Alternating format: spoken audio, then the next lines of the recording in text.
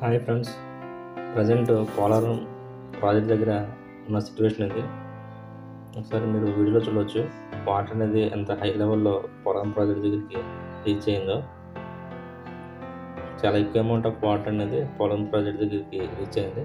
Polavaram project construct అయిన తర్వాత ఇదే ఫస్ట్ టైం ఇంత అమౌంట్ ఆఫ్ వాటర్ అనేది రీచ్ అవ్వడం పోలవరం ప్రాజెక్ట్కి. నిన్న మొన్నతో పోల్చుకుంటే కనుక ఈరోజు సిచ్యువేషన్ అనేది కొంచెం కంట్రోల్లో ఉంది. యాక్చువల్గా నిన్న మొన్న వాటర్ ఫ్లో చూసి పోలవరం ప్రాజెక్టు ప్రజలు చుట్టుపక్కల గ్రామాలు అందరూ కొంచెం భయపడ్డారు. కానీ ఈరోజు అయితే కొంచెం వాటర్ అనేది వాటర్ ఫ్లో అనేది కొంచెం కంట్రోల్లోకి వచ్చింది.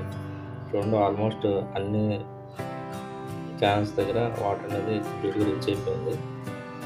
యాక్చువల్గా ఇంత అమౌంట్ ఆఫ్ వాటర్ అనేది ఈ టైంలో ఇప్పుడు రాలేదు.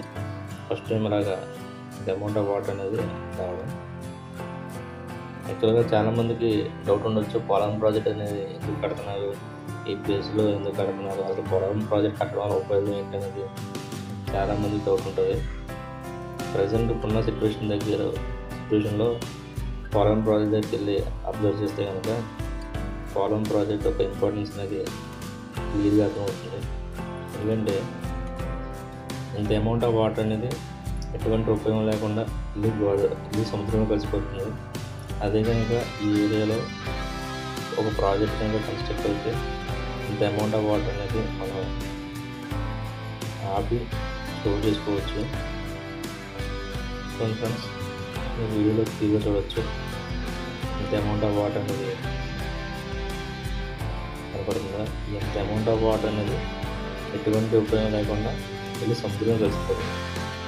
సో అలా కలవకుండా ఇప్పుడు ప్రాజెక్ట్ కనుక కన్స్ట్రక్ట్ చేస్తే ఈ అమౌంట్ ఆఫ్ అనేది చాలా ఉపయోగించవచ్చు అది పోలవరం ప్రాజెక్ట్ యొక్క ఇంపార్టెన్స్ ఓకే ఫ్రెండ్స్ ప్రజెంట్ ఉన్న సిచ్యువేషన్లో కనుక చూస్తే మీకు పోలవరం ప్రాజెక్ట్ యొక్క ఇంపార్టెన్స్ అనేది క్లియర్గా అవుతుంది. ఎందుకంటే ఇంత అమౌంట్ ఆఫ్ వాటర్ ఎటువంటి ఉపయోగం లేకుండా వెళ్ళి కలిసిపోతుంది. అదే కనుక ఇక్కడ ప్రాజెక్ట్ కన్స్ట్రక్ట్ చేసి స్టోర్ వాటర్ని స్టోర్ చేసుకుంటే కనుక మనం